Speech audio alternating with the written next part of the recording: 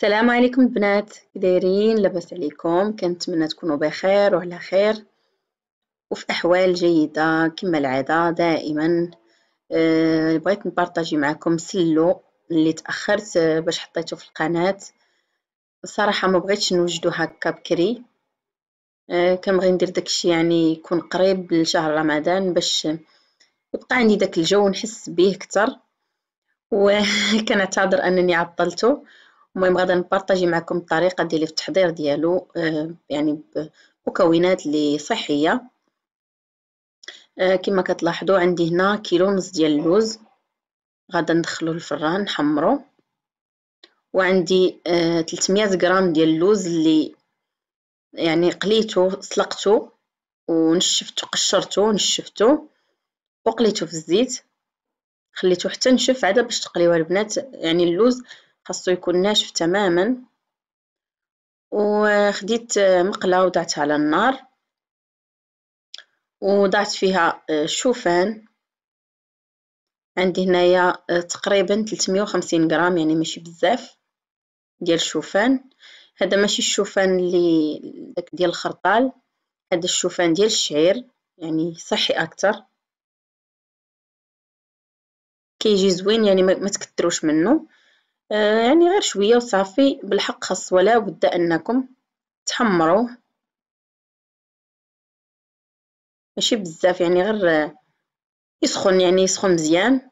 باش هكا ملي طحنو فيه ما يصعبش عليكم الطحين ديالو. المهم أنا راه بديت معكم المراحل يعني العادية هكا في التحضير ديالي.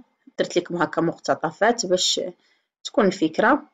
وعندي هنا النخالة. وهذه هي السر وهذه هي اللي يعني اللي كلشي عليها في هذه الوصفة. أه تقريبا عندي هنايا. حتى هي شي 300 غرام يعني ماشي بزاف. فما تخافوش البنات راه ما تنشف سلو ما حتى شي حاجة كتجي زوينة. وغادا مازال هي رقيقة ومازال غادا نزيد نرققها يعني غنطحنها. وهنا كما كتلاحظوا راه الزنجلان دخلته الفران. عندي كيلو ونص ديال الزنجلان حمرته في الفران واللوز كذلك حتى هو يعني تحمر. ما تخليوش يعني ياخذ داك الحموريه بزاف المهم يكون غير اللون ديالو هكا كما كتلاحظوا كيجي مذهب ومزيان. وغادا ندوز دابا باش نطحن هاد المكونات كاملة مع بعضها. غادا نبدأ باللوز اولا. وأنا البنات راه ما كان يعني ما كنطحنش يعني هاد المكونات حتى كتولي يعني بودرة بزاف يعني فوق القياس كتولي تعجن متوسطه وصافي. المهم كتطحن. باش ما نفقدوش ديك النكهة ديال اللون ولا ناكلو غير في داكشي معجن بزاف. المهم كنطحن. ما كنخليش هكاك مداير وأكيد راه يعني اللي كيبغى كيبغي اللوز هكا ياكلو داكشي يحس بالمذاق ديالو أكثر هذاك اللوز اللي راني حطيته أنا مقلي غادا نضيفو. يعني ما غاديش نديرو مطحون بزاف. كما كتلاحظوا هذا هو الشكل ديالو ملي طحنته وأنا كنفضل هكا يعني اللوز نديرو في سلو بالقشرة ديالو. يعني كيكون صحي أكثر من أنني نقليه. لأن مني كتقليوه كيفقد ديك يعني داك الفوائد ديالو الكثيرة كيولي واحد كتبقى واحد النسبة ولكن نسبة كبيرة كتضيع داك الزيت اللي كنقليو فيه وداك الشيء ما كاين ما احسن انكم تدخلوه للفرن هكا يسخن يتحمر شوية وطحنوه. أكيد كيكون أحسن. ونديرو هكا يعني واحد الجزء منه تقريبا كما وريتكم يعني اللي بغى النكهة ديال القلي هكا يشمها بداك السلو ويحس بالمذاق ديالها في النكهة ديالها. راه يقلي شوية. ودزت دابا الزنجلان حتى هو. غادا نطحنو. وراه عندي البنات تقريبا واحد يعني نص كيلو هكا. حاطه جانبا حتى نخلط به سلو مني نطحن كلشي المواد. باش هكا يبان ليا الزنجلان في سلو هكا كيعطي داك المنظر ديالو حتى المذاق كتحسي به أكثر من كيبقى هكاك زريرعات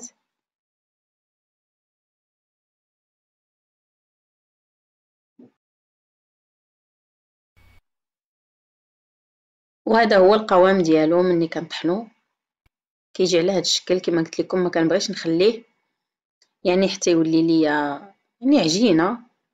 كنخلي ديك المواد شوية يعني كتبقى تبان. صراحة ما كيعجبنيش مني كنديرو عجينة بزاف.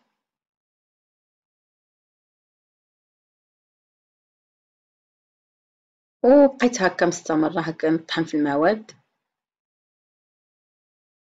أنا بغيت ندير لكم هذاك الشيء بالتفصيل باش تشوفوا.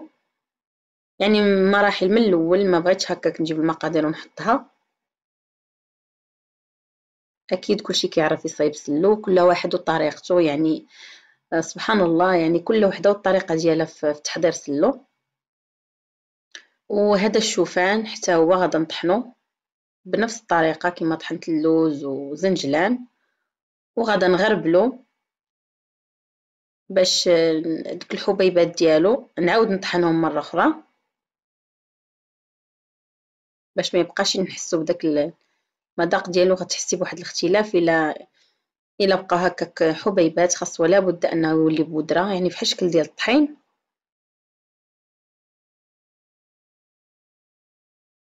كاين اللي كيطحنوا هذا كيحمروا. العكس أنا كنفضل أنني نطحنو. لا عفوا نحمرو هذا نطحنو. كيكون أحسن وأسهل. فاش هكا ما يتحرقش. كاين اللي هكا غتشدو غادا ديرو هكاك في المقله غادي تغير لها اللون ديالو. أنا فضلت من يعني ما نغامرش. نديرو بهاد الطريقة المعتادة اللي كنستعملو بها دائما. الشوفان ديال الشعير راه ماشي بحال الشوفان الآخر يعني شوية الطحين ديالو تيكون كيبقى هكاك حبيبات قابطين في روسهم ماشي بحال الشوفان الآخر بسرعة كيتطحن. كيبقى هذا صحي أكثر. وهذه النخالة كما كتلاحظوا حتى هي راه محمرة كما لاحظتوا معايا آه، في الفيديو. غادا نطحنها حتى هي مع المكونات. والنخاله راه زوينة البنات أنا دخلتها في الوصفة. صراحة كندخلها بزاف ديال الوصفات كندخلها في مسمن في البغرير في كل شيء تقريبا. ما كنبغيش هكا نبقى نحط لكم بزاف في القناة نخاله المهم كنبغي نبارطاجي معكم وصفات اللي كيبغيهم البنات هكا يكونوا متولين وداكشي. والنخاله راها صحية. حاولوا تدخلوها في بزاف ديال الأطباق. حنا كنا نت اللي كنسمعوا هكا النخاله يعني كتجينا شي حاجة بيزار يعني ما في شكل مع أن النخالة راه فوائد ديالها صحية والأبحاث تثبتات هذا الشيء خصوصا الناس اللي كيعانيو هكا الجهاز الهضمي راه مزيانه ليهم وماشي غير الناس اللي عندهم مشكل في الجهاز الهضمي يعني كل شيء يعني الصحة en général راه مزيانة. وهذا اللوز اللي آه، سبق لي وقليته. هذيك هذيك 300 غرام. يعني ماشي بزاف. المهم غدا غير نهرمشو. ماشي غيترقق وإنما غيبقى نحس بداك ال... بداك القرمشة ديالو في وسط سلو. وهذه الزبدة اللي كنستعملها البنات هكا في الوصفات بغيت نوريها لكم خصوصا الوصفات اللي كتكون صحية. خاص ولا بد أنكم تاخذوا زبدة اللي تكون مزيانة والجودة ديالها تكون مزيانة. وبعدوا من الزبدة يعني اللي كتكون راكم عارفين المهم لما ندخلوا بالتفاصيل. هاد الزبدة راها زوينة البنات يعني بيو وصحية وهكا سلو راه ما كنديروش كل نهار. كما سبق لي قلت لكم فيديوهات سابقة. يعني مرة مرة راه ماشي مشكل. كما كناخذوا المواد باش نحضروا سلو ناخذوا حتى الزبدة اللي تكون الجودة ديالها مزيانة. وكما لاحظتوا راه الطحين عندي آه، يعني عندي كيلو ونص ديال الطحين اللي استعملت. كيلو نص آه، كيلو ونص ديال اللوز. زائد 300 غرام ديال اللوز اللي آه، حمرته.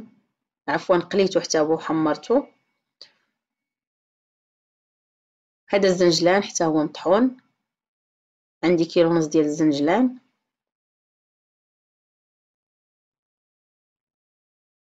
وهذا هو اللوز اللي هرمشت هكا طحنته بالماكينة. 300 غرام.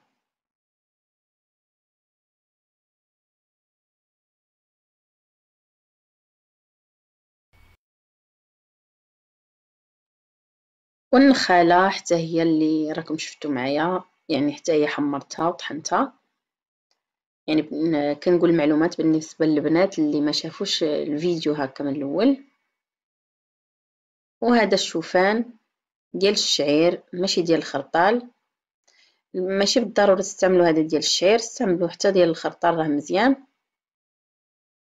حتى هو حمرته وطحنته وعندي معلقة كبيرة ونص ديال القرفة. وعندي جوج معلقات كبار ديال النافع وجوج معلقات ديال حبة حلاوة. وما تكثروش البنات بحال هاد المواد هادي. يعني كاين اللي كيدير تقريبا كل واحد وشحال كيدير الكمية نص كاس داكشي بزاف. ما تفوتوش يعني المقياس اللي خصو يدار يعني في الكيلو.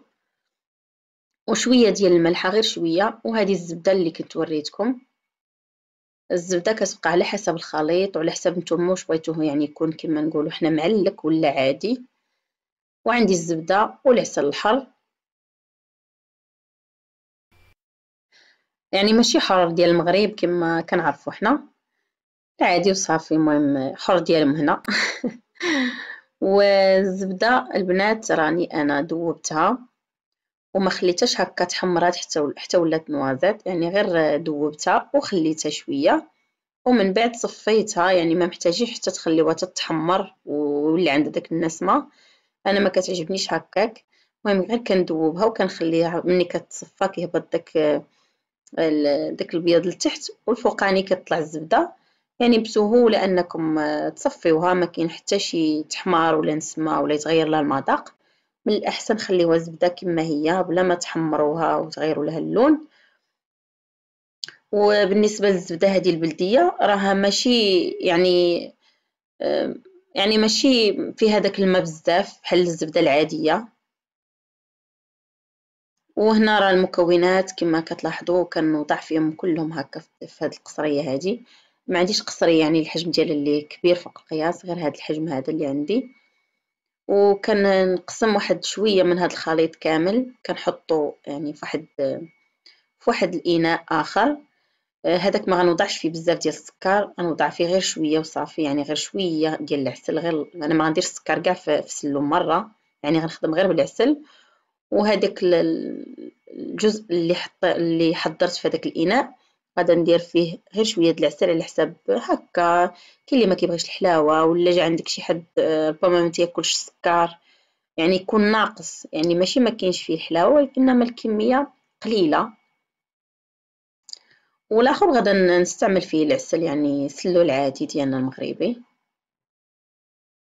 يعني دائما بقاو تفكروا بحال هاد يعني دائما واحد الجزء حطوه جانبا ربما يجي عندكم شي حد في العائلة ما كيبغيش الحلاوة بزاف. ولا حنا يعني بعض المرات كيجينا داك الشيء حلو فوق القياس. كنبغيو شي حاجة تكون خفيفة. آه كما لاحظتوا آه وجمعت المكونات كاملة. وغادا نبدا نخلط فيها. بعد ما استعملت الزبدة غادا ندير العسل. واللي بغى يستعمل الزيت آه خلطوه بشوية ديال الزيت النباتية. يكون أحسن باش هكا ما تعطيش ديك زيت الزيتون ديك النسمة ديالها وتغير لكم المذاق ديال السلو هادو غير بعض النصائح. وأكيد راه كل سيدة كتصيب السلو ديالها بالطريقة ديالها اللي اللي كتبغيها هي سبحان الله. يعني كل واحد سلو كيختلف من سيدة لسيدة. اللي كتذوقي عند وحدة ما كتذوقيهش عند الأخرى. والنافع وحبة حلاوة خاص ولا بد أنهم إلا كانوا عندكم حبوب تسخنوهم شي شوية غير شوية باش ما ماشي تحمروهم غير تسخنوهم باش يسهل الطحين ديالهم وفي نفس الوقت كيطلقوا ديك الرائحة ديالهم. أنا وجدتهم من قبل. وخديت الخليط من بعد ما خلطته بالعسل. دوزته في هذا الروبو هذا ماشي كيطحن هذا غير نجمعو صافي غير يجمع ليا العجين. كما كتلاحظوا باش ينسجموا المكونات واللوز راه بقى هكاك يعني راه ما تهرش كما لاحظتوا كيبان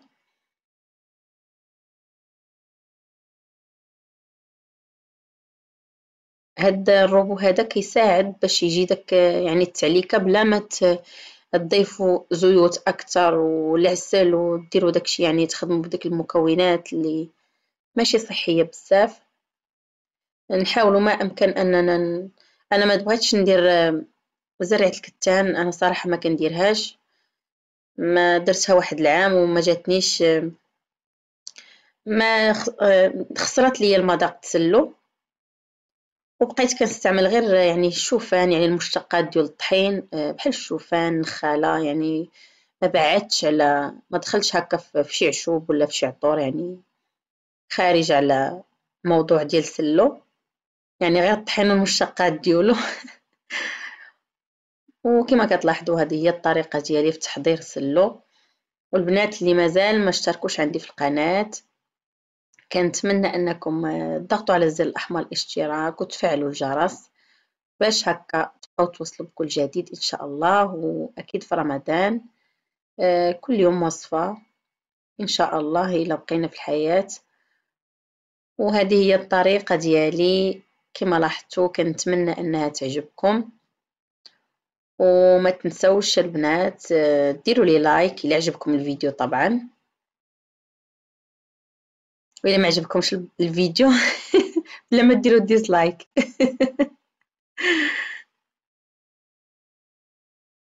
وهذا هو القوام ديالو. كنوريكم يعني يمكن ليا نشكلو كما بغيت. بدون إضافة زيوت كما لاحظتوا راه كيبان لكم في الصورة ناشف ماشي فازق. ولكن ملي طحنته آه، عفوا مني جمعته بهذا الروبو راه ولا معلك وهذا الروبو راه استعملته حتى في الشباكية. كتجي ممتازة. يعني كيجمع الخليط. وراني وضعت الزنجلان كما لاحظتوا في القصرية راه كاين هو الأول يعني حبوب آه، ما وضعتوش معاه من الأول يعني حتى دوزت كلشي المكونات في الروبو.